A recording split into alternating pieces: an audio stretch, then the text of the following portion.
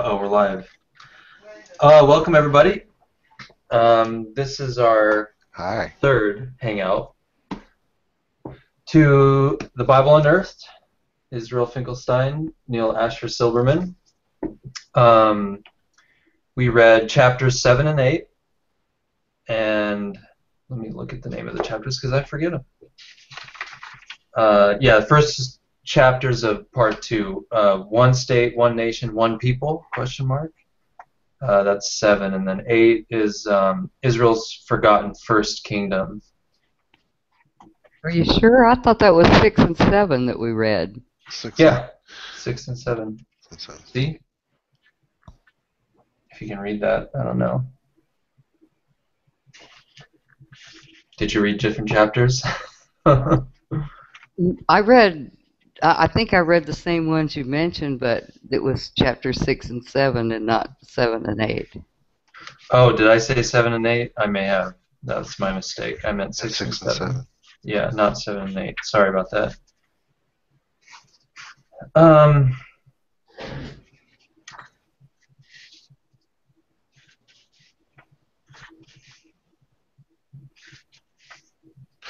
Could be watching It's a Wonderful Life.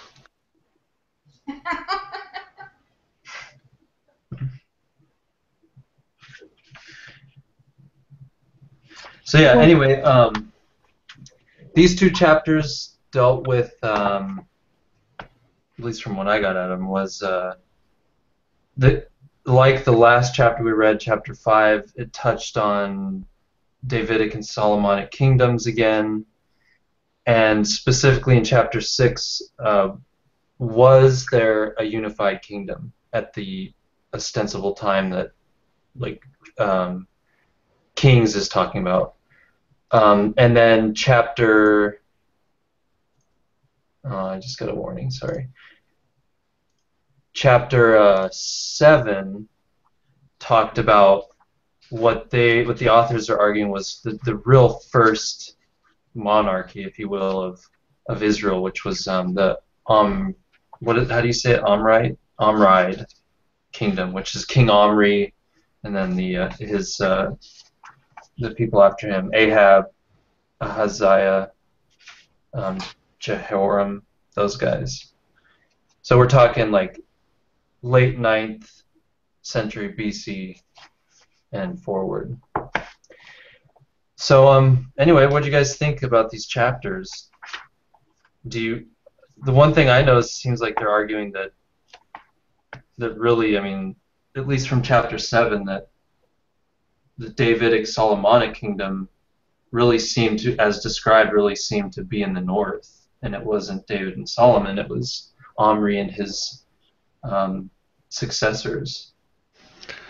Yeah, and the Southern Kingdom really had a bad case of envy going. Yes, because you know they were worthless crap as far as they were concerned. Despite the fact that the archaeology suggests that they were probably a f- really extensive, formidable, well-developed, technologically advanced uh, kingdom. The, Yeah, I'll say that there's some that envy sounds pretty good, although it may also be that as the the people from Israel refugeed south to Judah, that they wanted to recreate the kind of kingdom they had before, and they realized that they had to get some royal propaganda going to make it happen, and um, and in order to make that happen, they needed need, they wanted to make it seem like the South had been the one going had been the the big deal all along. So I guess I'm saying it could be some Northerners moved south who did this anyway. But still, you had the overriding ethos of the Deuteronomic history that's saying, you know, it's the wealth, the power that led to their downfall. Does like Judah want to go through the same thing? Well, it wasn't the wealth and power that led to the downfall. It was the disobedience to Yahweh, the chasing after foreign gods, because they really did need feel the need to to um, concentrate the Jerusalem cult as being the, the controlling cult, and probably the tax collecting cult, which is always a real advantage. Yeah, um, one of the interesting things in chapter six that I liked was where it talked about the ecological and environmental differences between the highlands in the south around Jerusalem, south of that along the Dead Sea, and then um, the northern Israelite part. Um, they said that uh, the whereas the southern kingdom was had a lot more precipitous hills, I think they called it. Basically, it wasn't as easily traversed, and therefore it wasn't as amenable to um, easy and efficient trading and traveling and things like that. The northern kingdom, focused around Shechem, the hills were a lot gentler, and environmentally it was more. It seemed to be advantageous, especially for them, because it seems they were describing that wine vineyards and um, olive trees and making olive oil was a big thing in the in the uh, Israelite territories, and that that economic advantage they're saying was probably one of the big things that started um, kind of gave a kickstart to what would eventually become a pretty powerful Near Eastern um, kingdom, if you want to call it that centered around the north part, the Israelites, and the southern. Even at the time that the, they were saying, even at the time that the uh, northern kingdom was basically had become a kingdom. Um, what, was the word they kept using? A self. I forget what it was. But basically, you know, they, they had the ability to have administration over trade, um, have a standing army, things like that.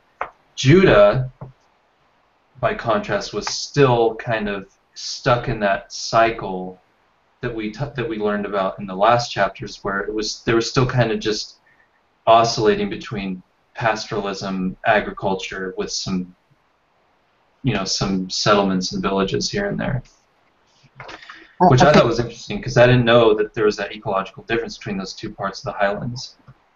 He doesn't bring it up, but there's a lot of difference in the skeletons that are found from the north and the south. I don't know if this difference goes all the way back to this period, but you can tell from the skulls of people whether they were from the north or from the south. It, it seems like there was always some kind of a, a difference between the two peoples. Oh, so maybe some kind of ethnic difference too. Is that what you mean? I think so. Yeah, that's interesting that's that they didn't bring that up in this book here. It's kind of beyond the scope of, of Finkelstein because he's an, he's an archaeologist. Um, you know, something that I found interesting uh, as I read the Bible and this book is, you know, there has a story here where Rehoboam, I guess that's the one who's Solomon's son, you know, he mm-hmm. wants to mm-hmm. go on the big building spree.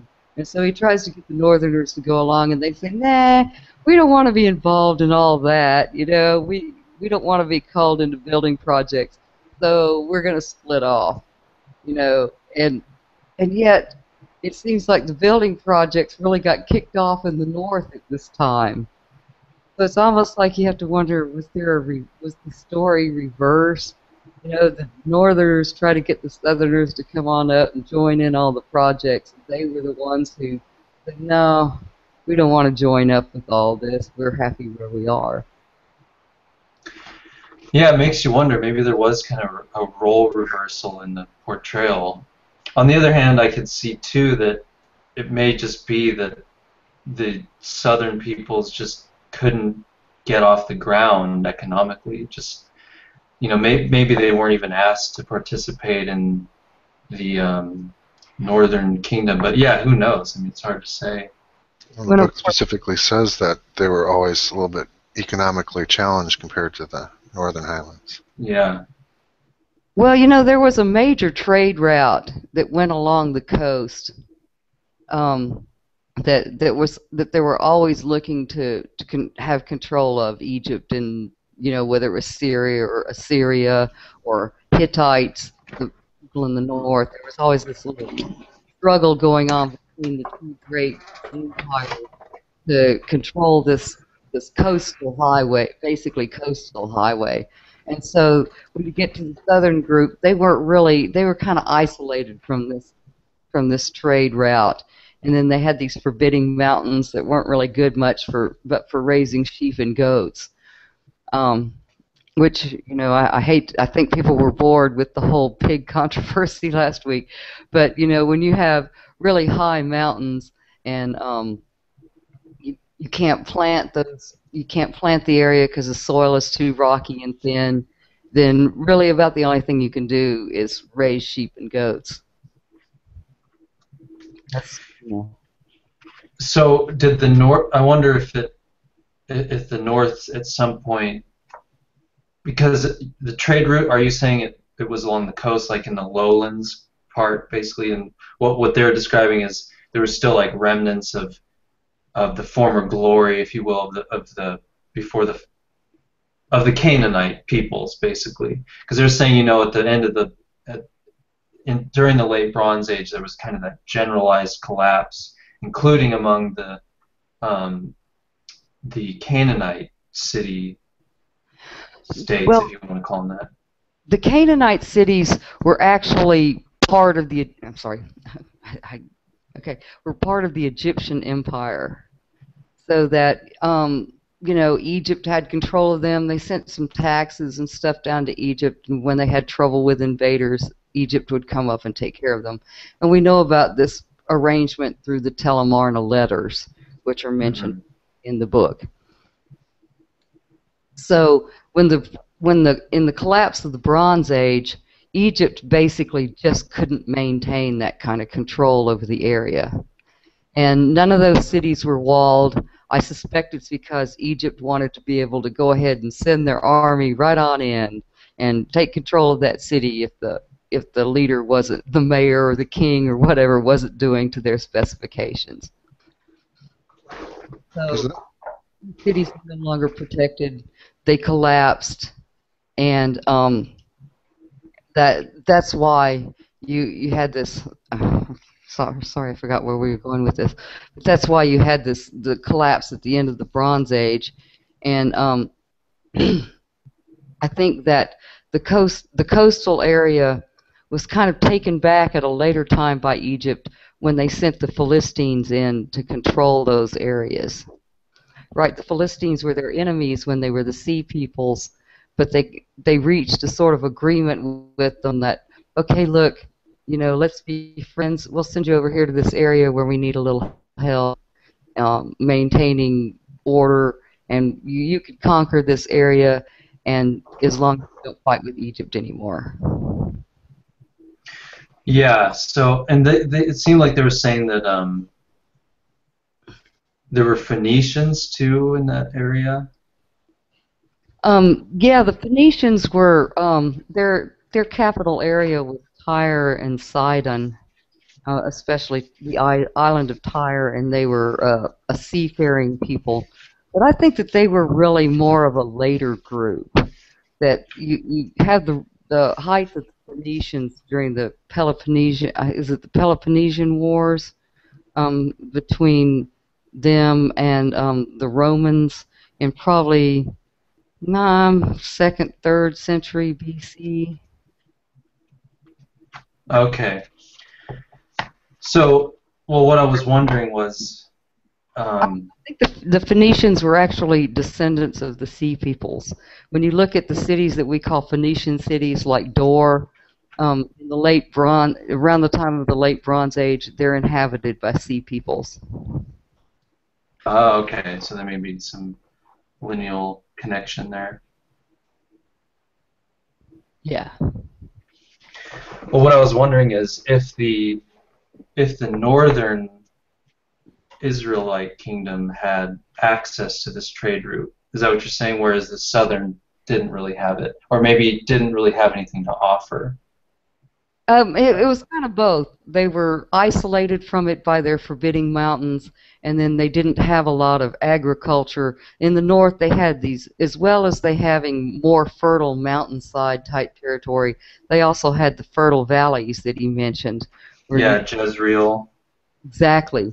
And in the north, there just wasn't that there. So people who raise sheep and goats, you know, they don't, they they probably didn't have quite a lot of trade, things to trade, offer to trade, and then they had a very rough terrain to go over in order to get to the trade routes. If they did trade, say, animal skins, which is, you know, kind of all they've got because you can't really, you can't do a lot of preserving of meat.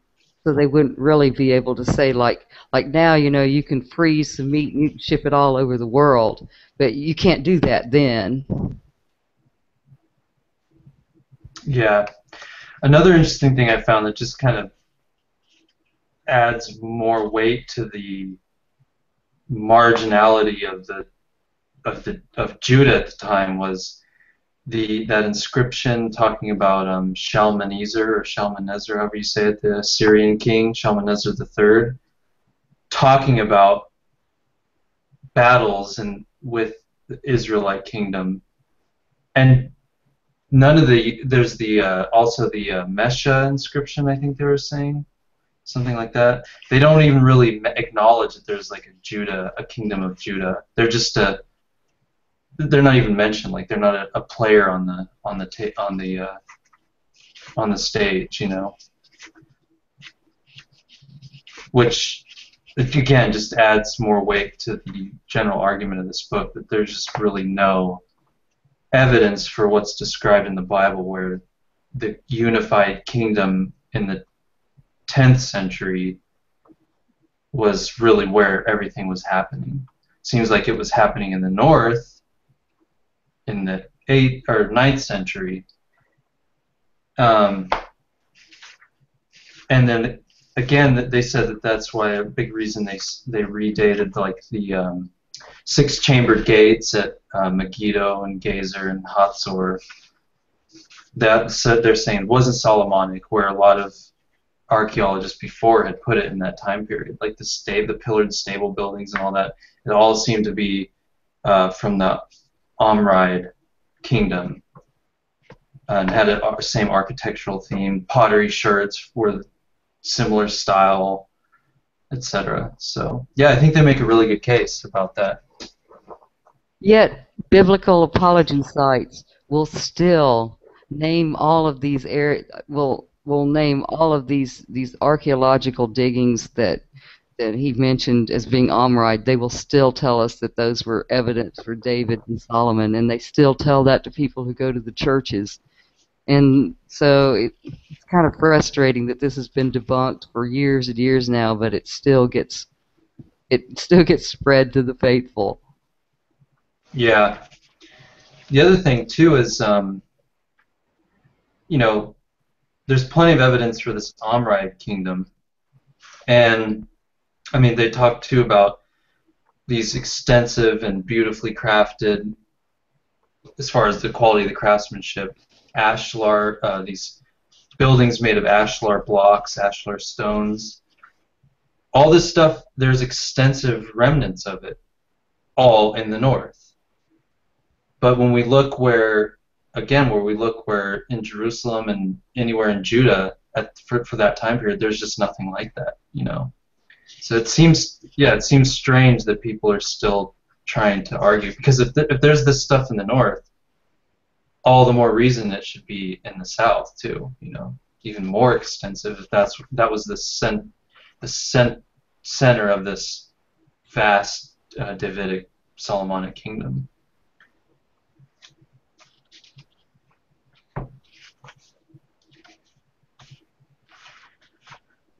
Um, I'm trying to remember what else. You know, to me, these two chapters were a ton of really interesting archaeological uh, summary, basically. But the most riveting parts were when they were paraphrasing the biblical accounts. So Yeah, yeah. Yeah, I like that they do that. They they they really kind of give you the, the background biblical information, then go into saying, you know, here's where it's right or here's where it's wrong, which is helpful, especially for me because I'm not really familiar with these stories that, that much. So. Um, I, found his whole analysis of the um, the Shishak invasion to be kind of interesting because he um, in his footnote, you know, he said, well, there's also a possibility that the Omrides caused the destruction that he's attributing to the Pharaoh Shishak, and um, he seems to be puzzled as to why Shishak would have made this invasion, but yet it was not an invasion of conquest. But I, I think that these aren't necessarily um, in conflict with each other. If you've got a weakened empire like Egypt was at the, after the, the Bronze Age collapse, um, they're going to want to have a, a large buffer area between them and the next centers of power. Even if they don't have full control over that area, they want to make sure whoever does control that area is either friendly to them or not at least or at least not a threat to them. So we say maybe you know we have this war that's that's talked about constantly during the time of of David of struggles between the people of Israel and the Philistines, who, as we've noted before, were friends of the Egyptians.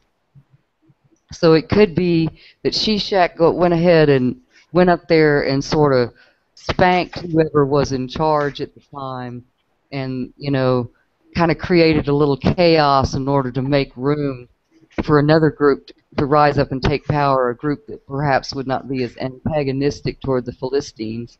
Because I, I think I might be wrong, but I think I remember the wars with the Philistines pretty much get dropped right about the time that um, Second Kings comes into play. That the David and Solomon stories are over and even the David stories, there's no more struggle with the Philistines. And um, not that they're they're all friends in one nation, but I'm saying that you know perhaps when when um, well Zimri was the one who who was the one that rose up, but when the the Omride group rose up, they didn't really take on the Philistines, and maybe they had a there was a little secret agreement that you know if the Pharaoh would take out the people who were in charge in that area that the people who came into power were going to not challenge Egyptian interests. Well, could it also be that uh, they intended to, Egyptians intended to uh, conquer and continue to occupy that land, but they were overextended or they were going through a period of decline themselves? They just couldn't maintain that kind of occupational thing, and that's why uh, you know the Canaanite cities never recovered. Um, well, you're the the Canaanite cities that never recovered were already dust by the time Shishak made his invasion. Um, they that they that the the Bronze Age collapse happened, and Shishak came after that, and so did and those cities collapsed at that time and then a little bit later they were reoccupied and they kind of built back up. So maybe a little more complex than just you know it collapsed and then Shishak went went in to, to take out those cities because they couldn't take care of them anymore. I'm trying to find that part. There was one thing about the Shishak thing that. Uh, it's a chapter six, if that helps. Yeah, um, yeah. It was a footnote. The Shishak alternative. That's the alternative explanation to that. That these the destruction of these cities, these Canaanite cities, um, Rehov, Beth Shean, Taanach, and Megiddo. Um, you know, there's two theories. The one you mentioned that Shishak, a Roman pharaoh, or Roman, Egyptian pharaoh came up and took him out. But the but the alternative too you talked about was the Omride one. But there was this interesting footnote that that Omride Omri did it, or someone in that. Which king would it have been, by the way, at that time? Do we know? Can we nail it down?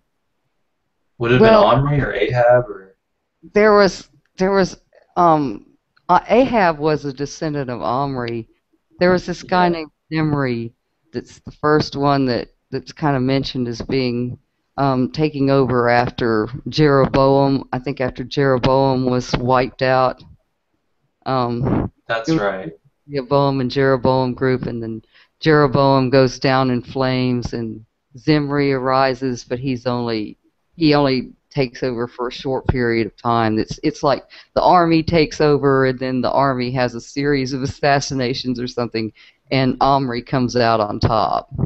Yeah, and he's the one that's that basically found Samaria. Right. Right. Yeah. Okay. But you know, I noticed. I'm sorry, but I've noticed with um with mo- with monarchies and their dynasties is that you'll have uh, Omri plays the part of the founder of the dynasty, and those guys usually founding the dynasty is about all they get to do, because they have to they spend their lives in military conquests, and then they plan a, gr- a glorious empire, which is then with building projects and stuff, which is then implemented by the descendants, like what happened with Ahab. It's Ahab who actually built most of the monumental palaces and stuff. Yeah. Anyway, this footnote was interesting. It says the Shishak alternative raises a problem. Why would the Egyptian king destroy the cities in the Jezreel Valley if he intended to continue dominating Canaan? And why would he erect an elaborate victory stele in a destroyed city like Megiddo? Again, could, yeah, why would you erect a stele if the if the if the city's destroyed? Well, or of course, Thele, whatever. And He says another possible candidate for the agent of destruction of the Canaanite cities could be the northern kingdom of Israel, so the Omrides. yeah, and that that was what I was proposing was an answer to this question that Shishak never really intended to actually conquer the area, but that he just intended to collapse whoever was in power there in order to um, perhaps they were offering some kind of um, say threat to him and his trading interests or to the, to the his allies the Philistines so that he doesn't necessarily have to conquer the area he has to just create a power vacuum to get rid of his enemies So you're saying this opened the door for the Omrides to kind of finish the job, if you will? yeah and um, I think that that's something that that um, Finkelstein is saying here is why Yeah. rise is because there was this this power vacuum that was created after the invasion by Shishak. Right. Yeah, so that would have been part of the rise of the northern kingdom or northern people. There, there was a power vacuum that needed to be filled, and they had an economic advantage due to their, you know, ecological benefits of just the territory, the lay of the land in the north. And also, I have to wonder. We were talking more about the influence of the sea peoples who moved into the area, and it may not have just been the Philistines. Perhaps even what we call the tribe of Dan was another group. And as, if these people were from outside, they may have been uh, more progressive, you know, um, more advanced in some of their technology and in some of their um, administrative abilities and stuff. And it may be that their influence also is one of the reasons why um, the people of the North began to coalesce and organize. Yeah, another interesting thing that I liked was they mentioned that the northern kingdom would have been ethnically more diverse than Judah. And they're saying that that, you know, we even get hints of it in the Bible kind of indirectly when, when it's talking about Ahab and Jezebel. Um, you know, he's building shrine at Bethel to Baal for her sake, kind of and she's inviting in a bunch of priests. Um, what was her? Where did she hearken from? She was Phoenician, actually. Her Phoenician. Yeah. was king of Tyre. Yeah, but um, and then archaeologically they're saying that well, yeah, it would have been ethnically more diverse, and this could have been a big part of the reason that there seems to have been more um, uh, more idolatry, if you want to call it that, more influence of foreign gods and stuff like that. If you want to talk about ethnic diversity, just the fact that they talk about there being 10 tribes in Israel versus one tribe in Judah, that's kind of interesting too, because they hope that, that makes only 11 tribes. Like, you know, Benjamin was sort of an afterthought that made 12 tribes later on or something. But, um, Yeah. You know, just the fact that, that, that they're talking about this greater number of tribes in the north would indicate that there was a more diverse group of people going on. I- I- Is Manasseh the the half tribe? Would that is that counted?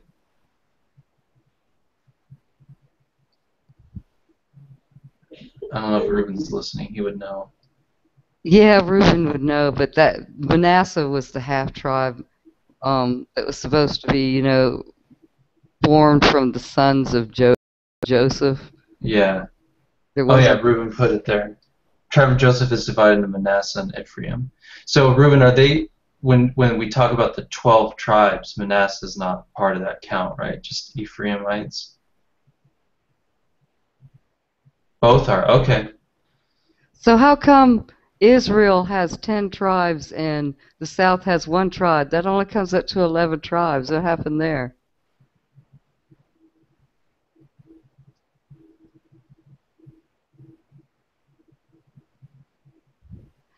Actually, all I'm doing is, is going by what um, Finkelstein says. He says that you know the ten strips were given to Jeroboam, and you know Rehoboam was to keep the one. Yeah, that was uh, one of the prophets, right? Elijah or Elisha ripped up his clothing. Was that right? Or no, just a man of God, I think it says. Yeah, a heel, uh, something like that. Oh, oh, His name started with an A. I'm thinking Ahila or something like that. It, it was a guy that the only time this guy ever appears. was that in chapter seven? It was in chapter six. It was okay. Yeah, where I want to find that because that was an interesting part. It's probably toward the beginning, right? Because that's where they lay out the uh, the backstory, kind of. I think that's right. I'm wrong. Yeah, tale of twelve tribes and two kingdoms.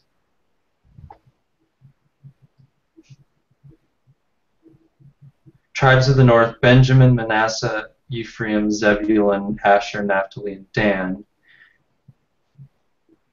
They didn't, they didn't finish out the Canaanites, um, and they, as a result, they'd be tempted again and again by idolatry. Where did it talk about that?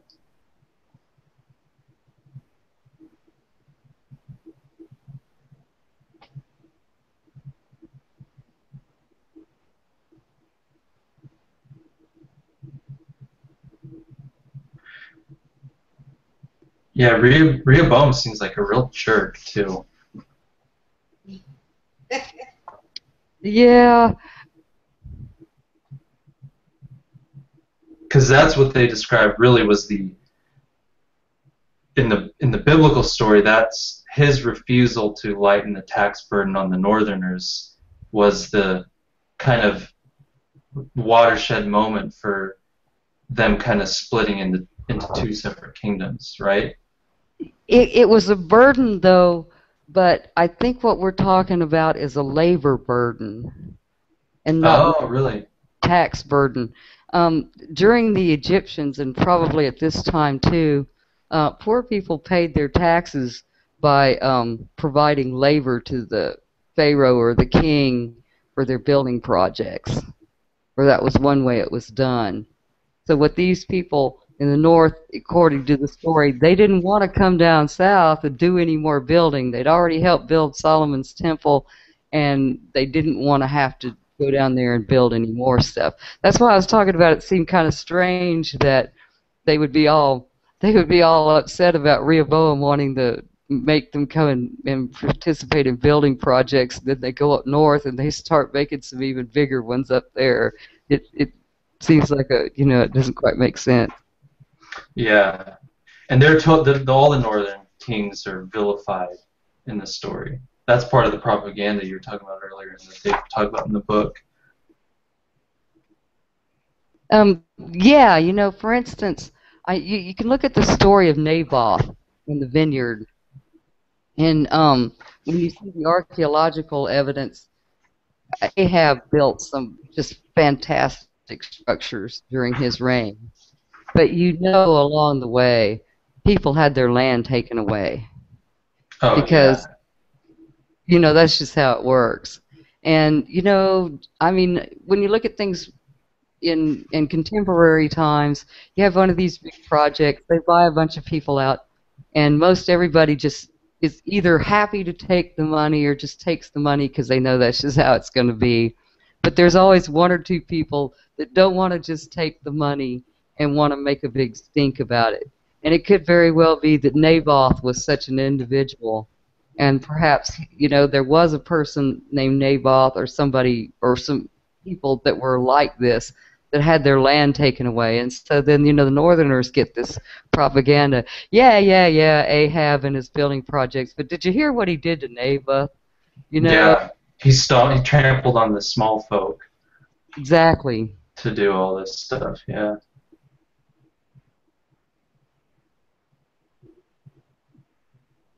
I'm trying to find that part about the ten pieces of the garment.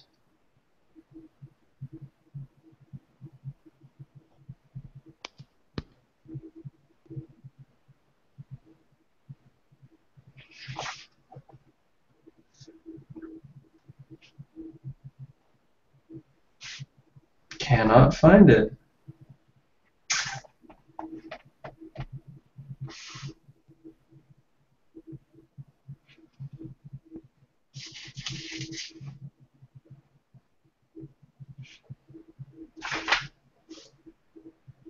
Think it might be near the beginning.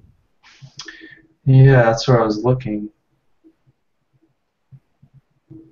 Reuben's saying they wouldn't account as the, Le- the Levites anyway because they're they're just the priests, so they don't get any inher- any inheritance anyway. They just get the temple duties. H one sixty four. Oh, really? Well, I was way off.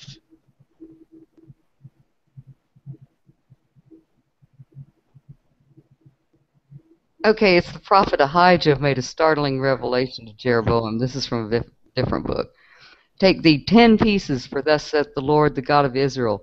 Behold, I will rend the kingdom out of the hand of Solomon, and will give ten tribes to thee. And he's talking to um, Jeroboam, right? Right. Yeah. Telling him that he's gonna he's gonna cut off the kingdom of Israel from um, Jeroboam because he's uh, uh, Rehoboam because he's been a piece of crap to everybody. Well, wasn't there some thing where Re- like Rehoboam was the real bad guy, but Jeroboam ends up getting kind of punished for it, right? Um, well, Jeroboam, you know, he's not properly appreciative of, of what Yahweh has done for him. Right, he goes a whoring off too. Yeah, exactly, exactly. And so, you know, this very prophecy comes to him, you know, that you know he's going to be destroyed, but later on, this great king named you know, Josiah is going to rise up and restore the kingdom of Israel. Doug, is my book numbering different from yours? No, that's the right page. I found it. Yeah, in the parentheses where you read, I'm about to tear the kingdom from the hand of Solomon. I will give you ten tribes, but he shall have one tribe for the sake of my servant David, and for the sake of Jerusalem, the city which I have chosen out of all the tribes of Israel, because he has forsaken me and worshipped As- Ashtoreth, the goddess of the Sidonians, Chemosh, the god of Moab, and Milcom, the god of the Ammonites. So who's getting the one tribe? Jeroboam?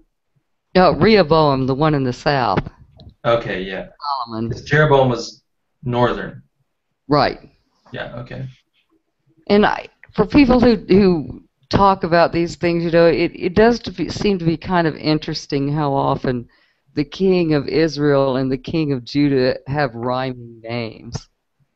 Mm-hmm. It's like, you know, maybe they're just making up somebody. One one person's sort of been made up, you know. Just I don't know. What's what are the I wonder what the names of the of the um what the names mean. Like Boam, what does Boam mean?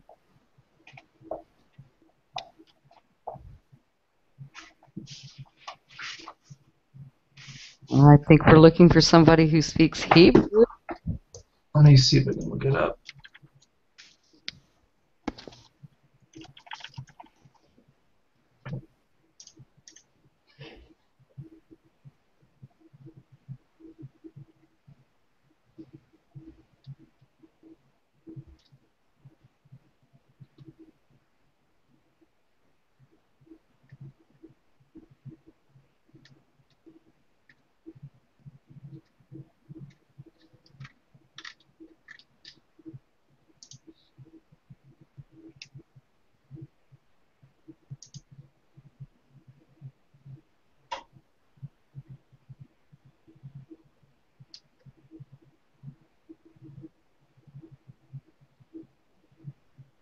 Uh, the people contend, or he pleads the people's cause. It is alternatively translated to mean the people are many, or he increases the people, or even he that opposes the people. In the Septuagint, he is called Hi- Hieroboam. And then Rehoboam.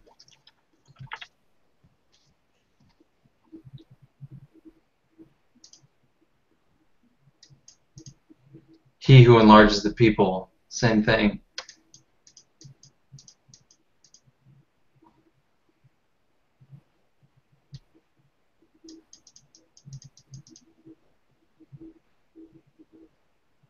Huh.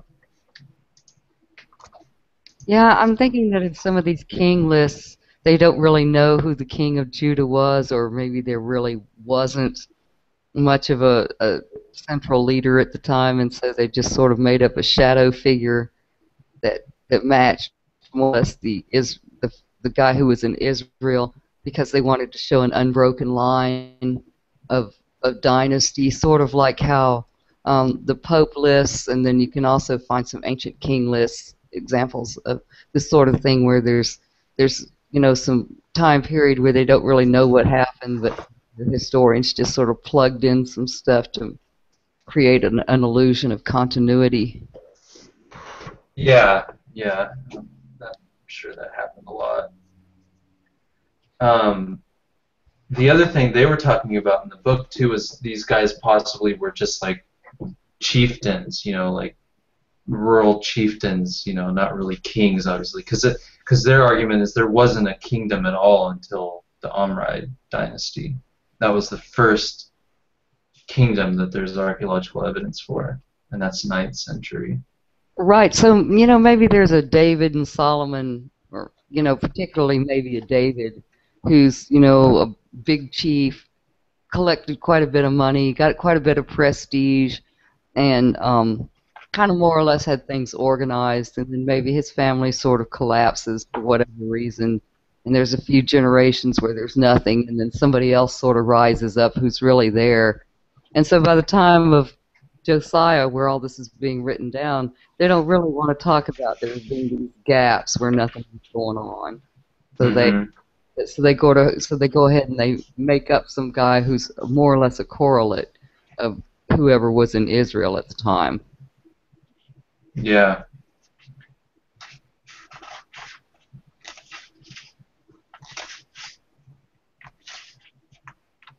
Hey, in the future, maybe we could read some more Finkelstein stuff. He does have a book on David and um, Solomon that I haven't read yet. Of Is that the Forgotten Kingdom? no, the Forgotten Kingdom is all about the North and goes into some of this stuff in greater detail. And there's actually a PDF of it, and I've read that, and it's really good. I would recommend that we go into that too at some point. Okay, yeah, that's definitely a possibility. Yeah, the the eighth chapter. I'm sorry, the seventh chapter especially. You know, it's it's difficult to talk about fully on this hangout because a lot of it was just describing like specific archaeological details of some of these ruins, like the you know the the carved uh, well tunnels they had and the uh, particular architecture, style of the pottery, um, stuff like that. So, so for for any archaeology buffs out there, that chapter seven would be really, really great for that reason. Um, something that I found interesting was that um, when Jeroboam allegedly builds the shrines, he builds one in Bethel and one in Dan, Yeah, and they're golden calves. Yeah, So who is the golden calf god? yeah. Because that's what the people build while Moses is up on the mountain, right? Exactly. Yeah. Wasn't it Baal or something? Isn't that Baal? Um, I don't know. Um, you know, uh, what I something I find interesting is that they're they're worshiping a calf, whereas you know when you're, you know, in religions that that have a have a you know cattle as their as their god, it's usually the full-grown version, either the bull or as um, Dale mentions, the Egyptian god Hathor, I think was was actually a goddess and was represented by a female cow. Is that not right? Right. That is Egyptian. The Apis bull was sacred. Okay. Right. Bull is the full-grown version, and I, I have to wonder why are we worshiping a calf? Exactly who was that? Yeah, it makes you wonder because the Egyptians they would have they would always have an Apis bull, and it had this like you know amazing stable that they would house it in, and then when it died they would have another one. There's they'd just a lot of always have- controversy over which one it is. Generally speaking, critical scholars say it was probably Yahweh. The bull. Yeah. Yeah, it makes you wonder. Yeah. So they're saying that the golden calf was meant to be a representation of Yahweh, but it was um, wrong to make this golden calf because you weren't supposed to make any representation at all. Right. Moloch was a Canaanite god too, wasn't he, or Moabite, something like that? Um, didn't they just mention him, yeah, as being an Ammonite or um, that it, it was just in that passage that you were just reading. No, that was Malcolm and um, a different one. It wasn't Moloch. It was Malcolm and one other one.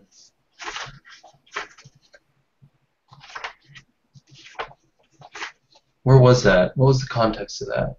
Oh, talking about Jeroboam. Must have been around 160. Yeah, he says Malcolm is Moloch. Etymologically related, a lot of these. Yeah, Ash, Ashtoreth, the goddess of Sidonians, Chemish or Chemish, the god of Moab, and Milcom, the god of the Ammonites. Okay. Oh, it is. Reuben's saying it is Moloch, just a different transliteration or whatever. General Levantine god, Milcom is Moloch. Moloch, also known as Meloch, Molech, Molech, Moloch, blah, blah, blah, a bunch of different spellings. Okay, cool. Corn. Well, of course, we have to remember that ancient Hebrew doesn't have vowels, right? Right, yeah.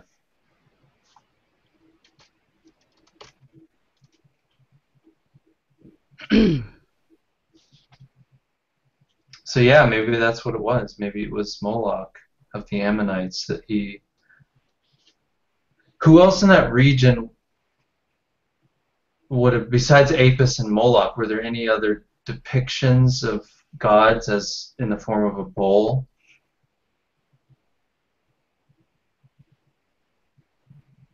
MLK, king.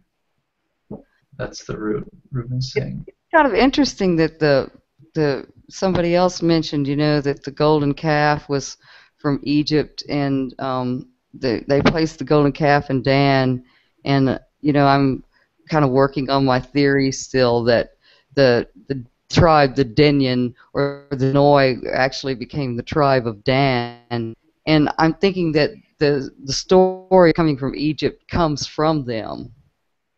That they, as people, they may have worked, or another group poss- possibly who came from Egypt, um, that they worked for the Egyptians for the while, for a while, fought with them, and then later were transplanted to the north, and that the stories of Moses and the escape from Egypt are coming from them.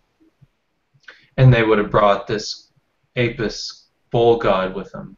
Or yeah, the golden calf, whoever it was, but it's probably not Apis because as um, as I was pointing out, the Apis is usually is a, a full-grown bull, right? Yeah.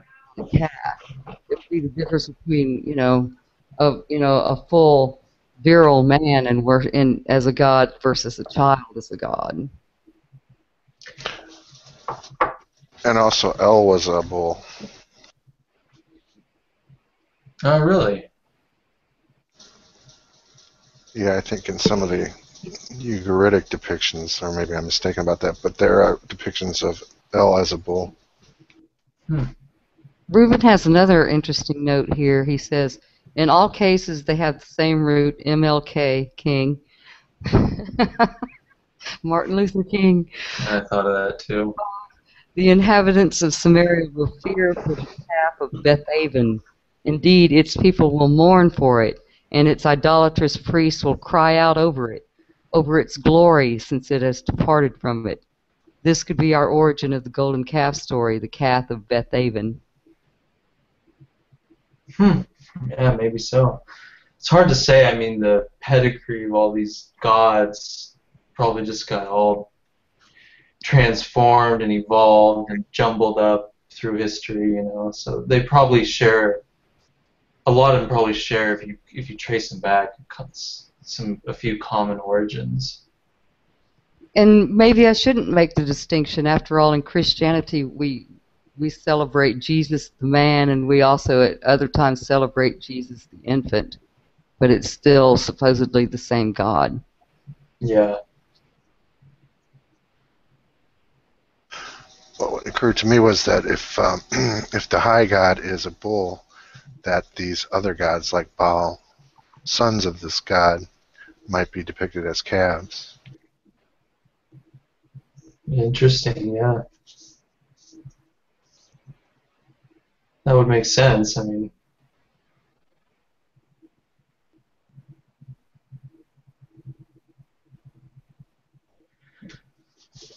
anyway, um, do you guys have anything else on the uh, chapters there? We didn't really read a ton today or this week, and like I said, a lot of it was just kind of detailed archaeological stuff. I don't have too much to add, but on the question of the golden calf, I'm actually thinking that should be plural. I think there are calves, plural, that it's actually talking about. In in the story in the, the, passage we were reading, it um, there are two calves made, and they're put in different cities. And then I think the story in Exodus is actually written later and derivative from this but it even has the plural at one point in, in Exodus. In the prohibition and stuff, it has a plural. Oh, interesting, huh? I think so, that's to the question of trying to identify who the calf is, you may want to consider it could be singular or plural. That's all I wanted to say. Yeah, maybe there's a lot of calf signifying the sons of El. The 70 sons of El. well, of course, to those people at that time, the bull would make the perfect symbol of a fertility god. because of being a big, powerful animal that impregnates a lot of females. You know, you don't you don't have cat cattle in pairs. You have one cat, one bull, and he services a whole herd of females.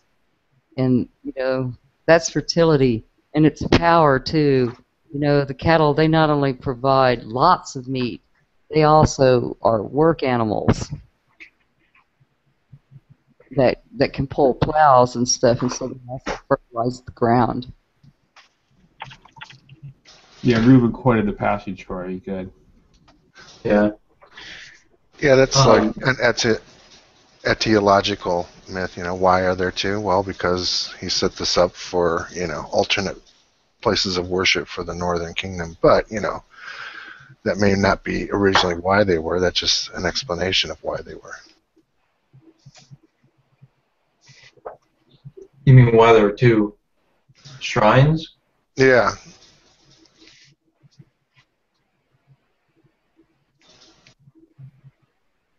Still, it's interesting that that it's a bull that he uses as the as the if, if it's ideological oh, calves.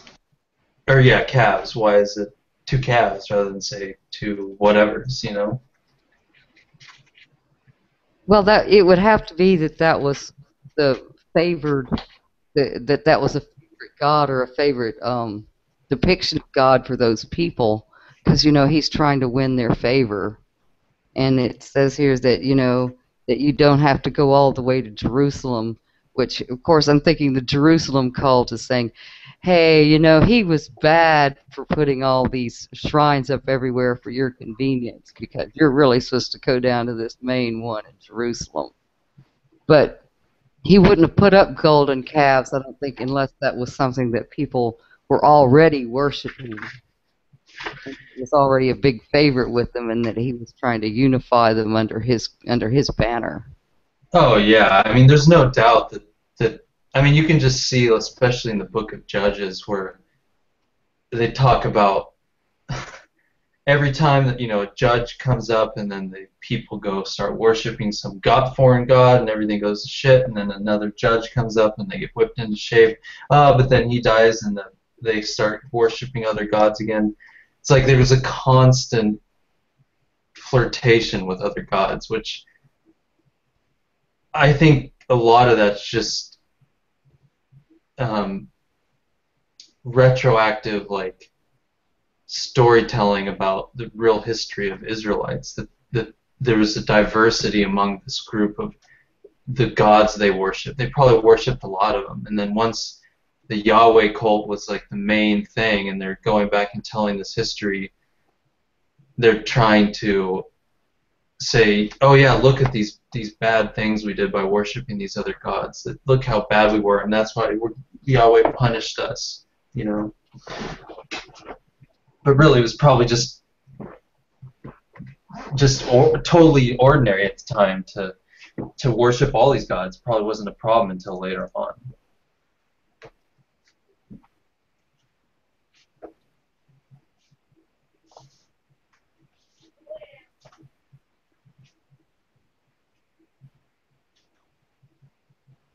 Anyway, any last thoughts? Or any other thoughts? No, I think Shauna said everything I was going to say. Sorry, John. Here too, he touched a little bit. They touched a little bit on um, that this whole depiction of uh, the Northern Kingdom again seems to harken back to a seventh century concern. Is that right? Under Josiah, yeah. It uh, seems to be. It would make a lot of sense that, that this would be the demonizing the the Northern Kingdom would have been a, a preoccupation of of Josiah's era because this was right at the time when you know he was trying to, for one thing, s- centralize the cult in Jerusalem and had uh, expansionist aims, you know. because the northern kingdom had been wiped out basically by the Assyrians, and then so there's a lot of open territory, etc. So yeah, it seems like this if this was seventh century, this these writings it really fits into there really nicely. It seems like. I, I think he pretty well has them. I'm sorry. I think he pretty well has them dead to rights with that. Um, with the the prophecy that the great King Josiah is going to come and restore the kingdom. I mean, Yeah. that just nails it down right there. Yeah, that was a big one. I want to read that. I, I actually forgot about that. I can't believe I did, but that was that's huge. I mean, where was that? In is that in chapter six too? Yeah, I think it is in chapter six. Yeah, it's um First Kings 13, 1 through two.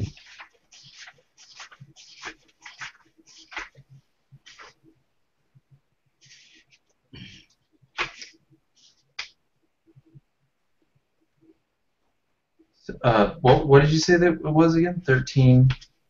Um, my notes say First Kings 13, 1 and two. Yeah, and behold, a man of God came out of Judah by the word of the Lord to Bethel. Jeroboam was standing by the altar to burn incense, and the man cried against the altar by the word of the Lord and said, O altar, altar, thus says the Lord, Behold, a son shall be born to the house of David, Josiah by name, and he shall sacrifice upon you the priests of the high places to burn incense upon you, and men's bones shall be burned upon you.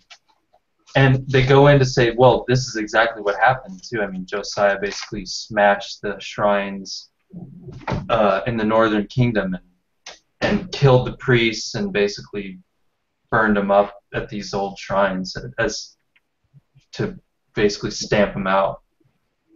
So yeah, that that really to me seems. I mean, just just just just grabs you and says, "Yep, this is Josiah. This is from Josiah." Yeah, I forgot about that. Thanks for reminding me, Shauna. That's huge.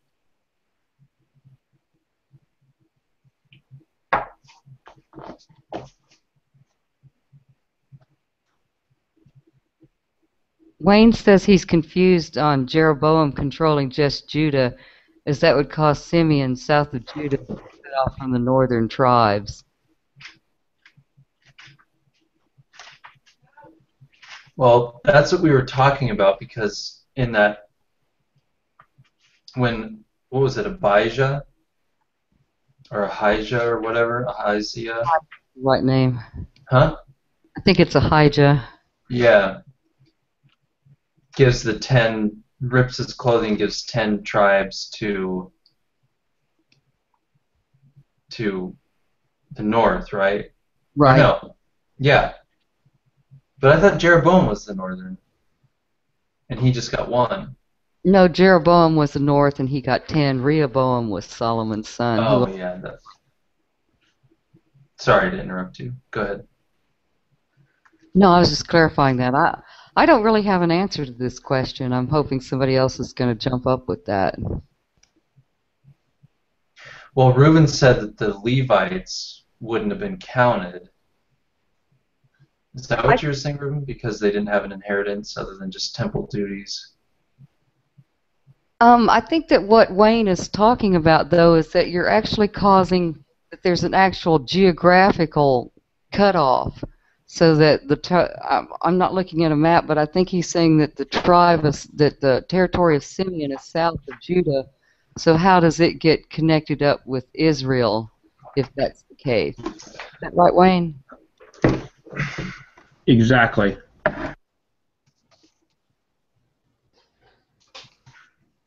Let me see if I can map of tribe inheritance.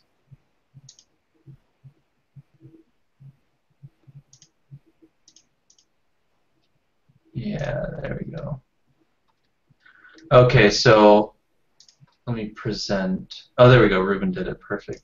Yeah, Simeon's right smack in the middle of Judah. So he was one of the. Was he one of the ten? Was that one of the ten given to Jeroboam?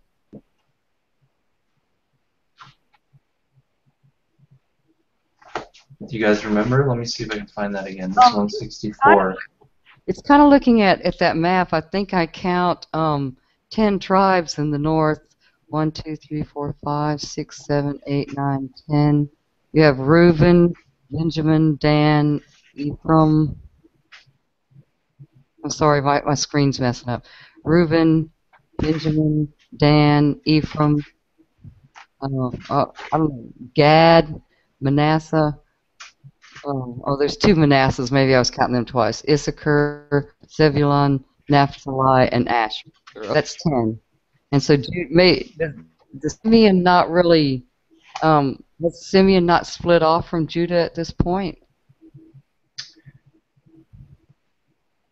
Yeah, because here in, on page 150 it says the tribes of the north are Benjamin, Manasseh, Ephraim, Zebulun, Asher, Naphtali, and Dan.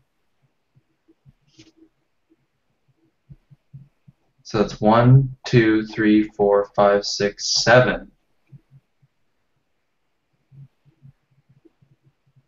No, yeah, because the Ju- Judah and Simeon are described in um, well, Joshua and Judges, right? For sure in Judges, because Judah and Judah and Simeon were the ones that actually were able to stamp out the Canaanites contra Joshua, contra the book of Joshua. Because Joshua, isn't it saying that all the tribes, basically, that all the Canaanites were were basically stamped out? But then at the end, it says, "Well, a few were left." Or is that the beginning of Judges? I forget.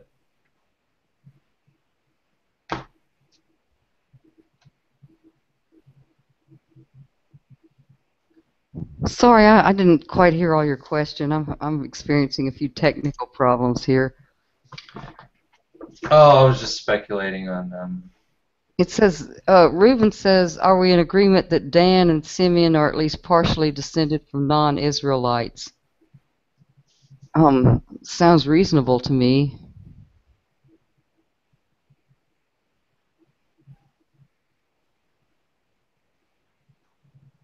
It does seem like, though, I remember there being, depending on where you look, that there are a, a few different tri- listings of the, the the tribes. The listings of the tribes don't always match up, much like much like the listings of the apostles in the New Testament.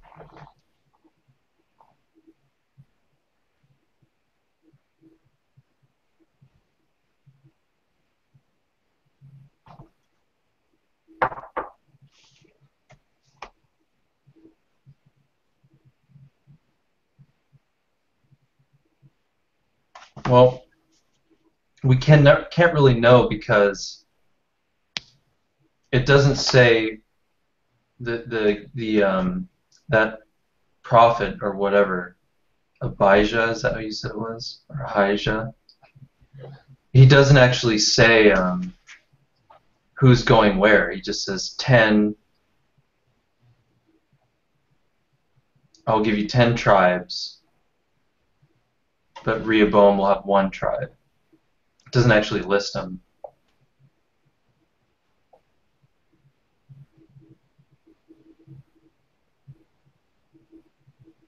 Like who's going where.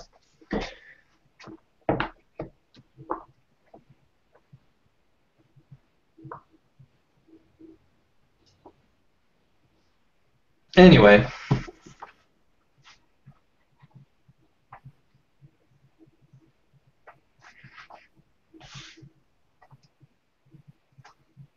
Um, you guys have anything else? Anything else you liked in the reading or questions or anything like that?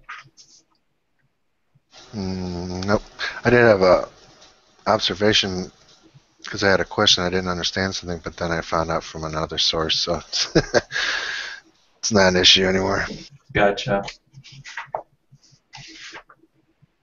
You know what's really weird is if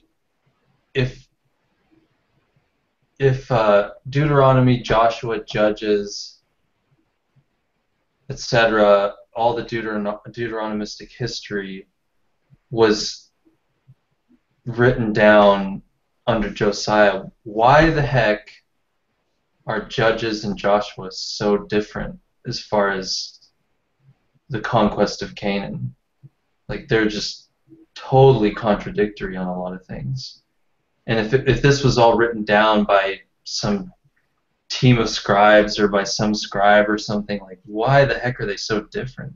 Makes me wonder if like Joshua was written by Judah and maybe Judges was like incorporated and it was like a northern account. Yeah, I mentioned there was a theory that Josh was not part of the Deuteronomic history. I think that it's a later it's a later writing that was possibly written during the Persian period in order as as propaganda for the returning colonists. The, I'm talking about the book of Joshua. So so Judges would be the earlier book.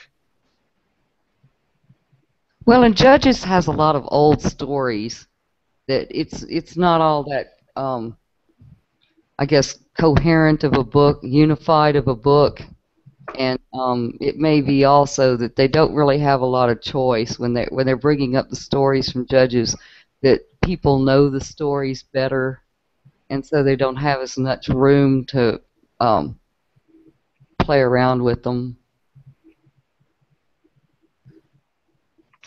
Yeah, Joshua could easily be a later story, like you say, for propagandistic purposes.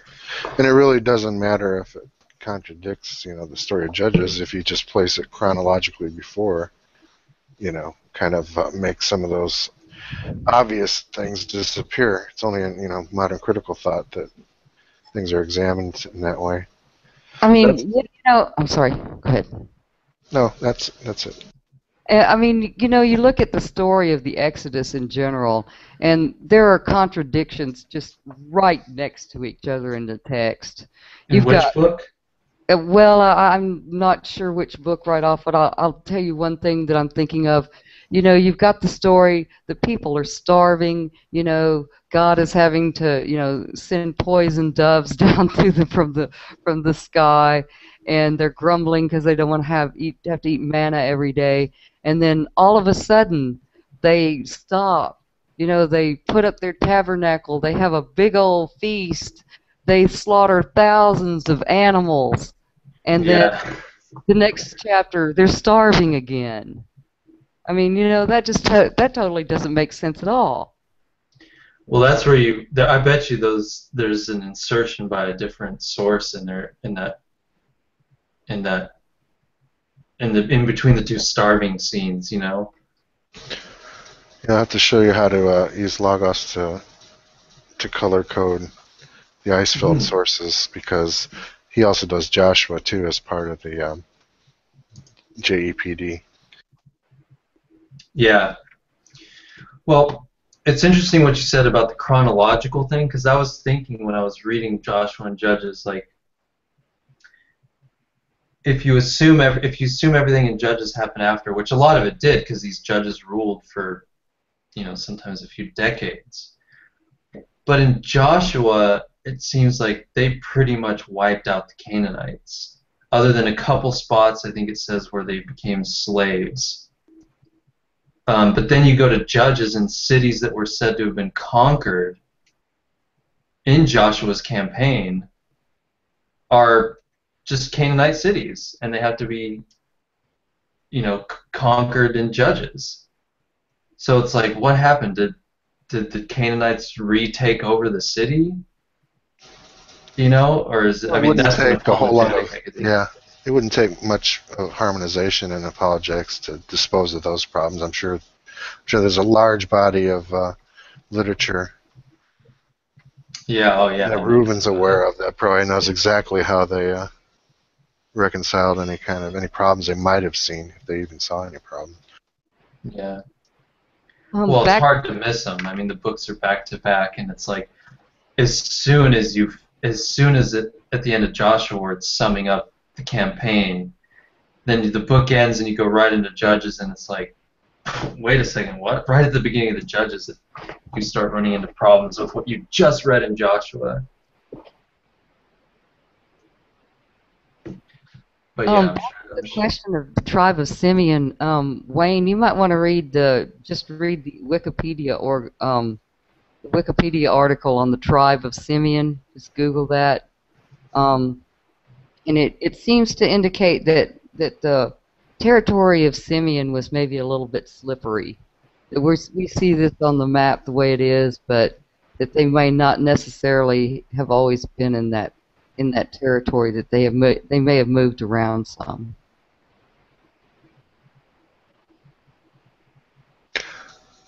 Yeah, Reuven also mentioned Joshua as part of the Hexateuch. Not all scholars agree, though. A lot of scholars place it as the first book of the Deuteronomic history, and they even have what what they claim are Deuteronomic sources in Joshua, and some scholars totally disagree and have no Deuteronomic sources in Joshua. So it's depends on who you're listening to. Yeah. There was one site I found, in case you guys are interested. Um, thought I bookmarked it. Oh no, I didn't. I can find it again. You know, I had this this um this vision of uh, Joshua as be, having been written during the Persian period as uh, propaganda for the returning colonists because I was reading the book actually at the same time as I was reading that Magee book I've mentioned earlier, or uh, of how the Persians created Judaism, and so it just seemed to dovetail so perfectly as to what they would be telling these people before they were sending them back. You know, don't don't intermarry with those folks that are there, and just remember how Joshua, you know, conquered those people and got rid of them, and they were able to take this lush and beautiful land, and they make promises to the people that you will be able to to harvest grapes from vineyards you did not plant. Wasn't it also implied that um, the uh, Persian takeover with the returners was in some cases violent, so that a lot of that actual destruction was not did not apply to an earlier period, but was very much characteristic of the uh, return period, post ex. Exactly. Um, actually, I think the return the return period is, seems to be very mysterious as far as what actually happened, and some think that there were that there were more than one wave of colonists that came back, and that maybe the first wave that there was actually a lot of violence involved.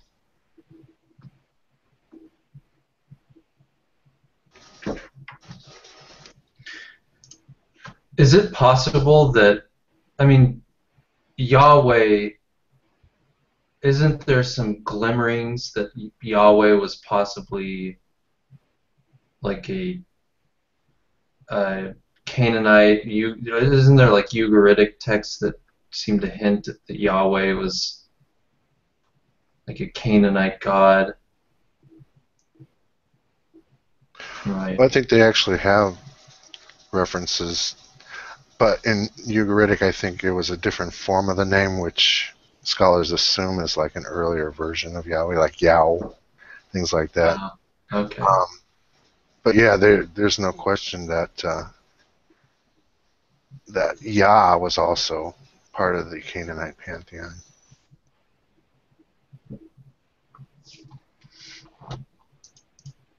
Well, it makes me wonder, like, did all the people who got exiled were they all Yahweh worshippers, or was there a diversity like there was in the northern? Seems to have been in the northern kingdom, where it's the biblical like, story, you know. Huh?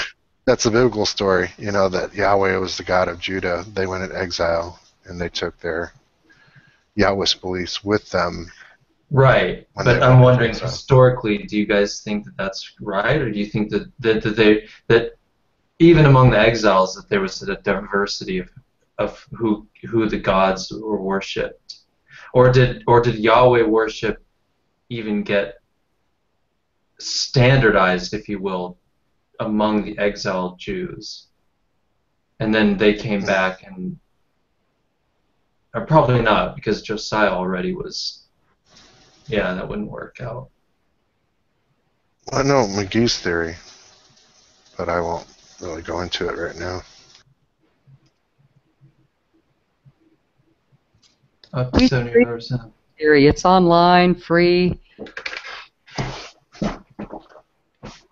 Yeah, I might check it out. Of course, the uh, a- alien dinosaur stuff makes me a little.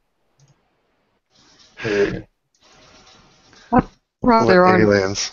dinosaurs in this, and, and, you know we don't have to exactly, um, we we don't have to exactly accept everything he says at face value. It's just a pretty interesting analysis and theory that you know we could go over, look at, blow up if necessary, if we have the means to do so.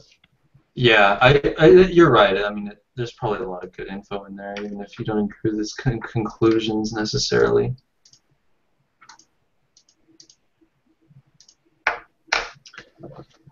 Um, well, you guys want to wrap it up, or did anyone have any final thoughts or anything like that?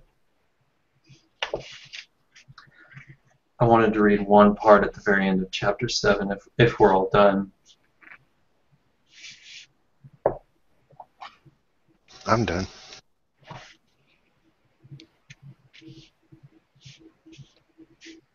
We're I good. think- Yeah, I brought up everything I had in my notes. Dale or Wayne, did you guys have anything else, or want to say anything else, or re- read an excerpt you liked, or anything like that?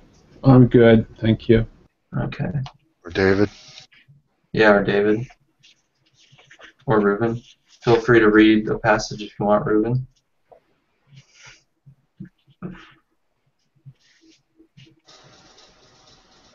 Reuben should learn how to possess people, and we could be his mouthpiece. Yeah. Okay, so anyway, at the end of chapter 8, the ultimate villains, page 194. I'm sorry, end of chapter 7. The writer of the books of Kings was concerned to show only that the Omrides were evil and that they received the divine punishment that their sinful, arrogant behavior had so richly earned. Of course, he had to recount details and events about the Omrides that were well known through folk tales and earlier traditions but in all of them he wanted to highlight the Omride's dark side. Thus he diminished their military might with the story of the Aramean siege of Samaria, which was taken from events of later days, and with the accusation that in a moment of victory Ahab disobeyed a divine command to utterly annihilate his enemy. The biblical author closely linked the grandeur of the palace at Samaria and the majestic royal compound in Jezreel which we actually have archaeological evidence for, with idolatry and social injustice. He linked the images of the awesome might of Israelite chariots in full battle order with the Omride's family's horrible end. He wanted to, to delegitimize the Omrides and to show that the entire history of the Northern Kingdom had been one of sin that led to misery and inevitable destruction. The more Israel had prospered in the past, the more scornful and negative he became about its kings. So yeah, they're saying propaganda basically under Josiah. Anyway, final thoughts? No? Okay, well, um, we will talk about how much we're going to read next time after we go off live. So thanks everyone for joining us, and uh, see you next week. Same bat time, same bat place.